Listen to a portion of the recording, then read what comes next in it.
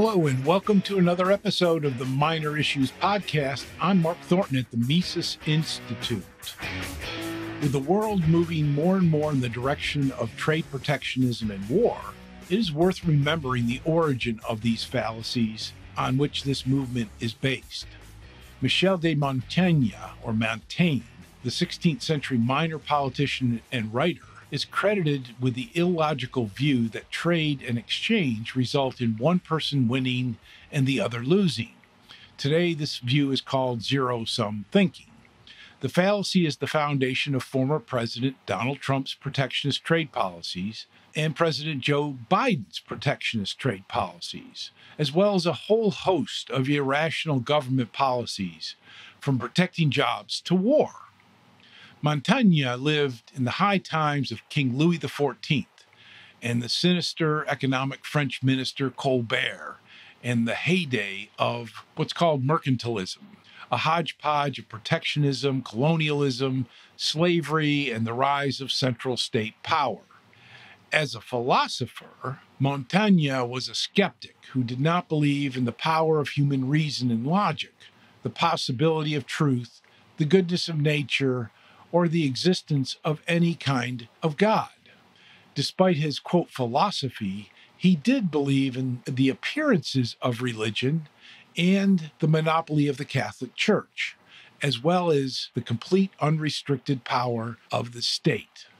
Without access to human reason, and without the hope of discovering truth of the nature of man, how could one stand against anything in the existing order of things? Blind obedience was Montaigne's rule. Apparently, the status quo was always perfect, and we could never know anything else. Not surprisingly, he was also a thoroughgoing Machiavellian. While we can all see that lying and deceit are a normal and regrettable part of politics and government, Montaigne saw such vices in a positive light of, quote, sewing our society together, end quote, and as, quote, poisons for the preservation of our health, end quote. As such, he saw the day to day voluntary interactions of people as mortal and moral battles, and that trading between nations are acts of warfare.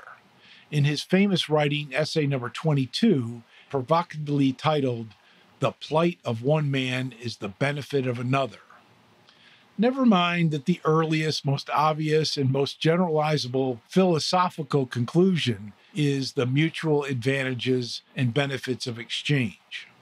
In the Montaigne fallacy, the funeral director benefits at the expense of people who die. The farmer benefits from the hungry. The physician benefits from the sick, and the clothier benefits from the naked. Montaigne and his fallacy take the great illogical leap over two important facts.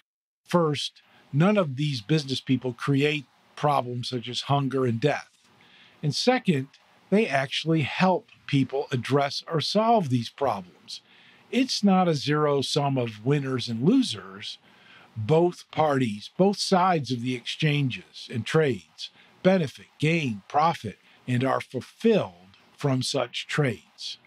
Montaigne's dog eat dog world is actually a world of widespread cooperation and mutual benefit.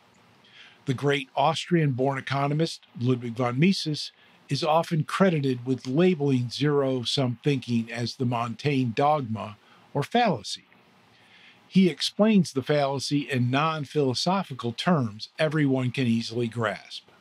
Quote, what produces a man's profit in the course of affairs within an unhampered market society is not his fellow citizens' plight or in distress, but the fact that he alleviates or entirely removes what causes his fellow citizens' feeling of uneasiness. What hurts the sick is the plague, not the physician who treats the disease. The doctor's gain is not an outcome of the epidemics, but of the aid he gives to those affected. The ultimate source of profits is always the foresight of future conditions. Those who succeeded better than others in anticipating future events and adjusting their activities to the future state of the market reap profits because they are in a position to satisfy the most urgent needs of the public. Because Mises's logic is so convincing in terms of our own daily dealings, it is important to remember that he was more concerned about the Montaigne fallacy at the international level, where illogical words can quickly mutate into war.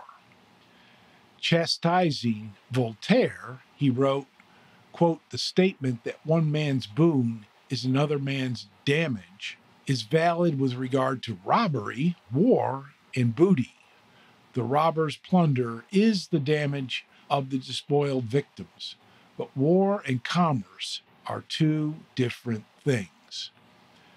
The spirit of conquest applied to trade has been embraced by political leaders and supporters who have actually prevented a truly peaceful and prosperous world order. Quote, it is monstrous that Emperor Napoleon III should have written, quote, the quantity of merchandise which a country exports is always in direct proportion to the number of shells it can discharge upon its enemies whenever its honor and its dignity may require it. Arguments for protectionism of various sorts are often more alluring than when Mises provides the proper context. Indeed, deceit and obfuscation are easy to come by when the payoff for interest groups from such propaganda is so very high. Insinuations to patriotism, good, high paying jobs, and double crossing foreigners can be easy for us to swallow.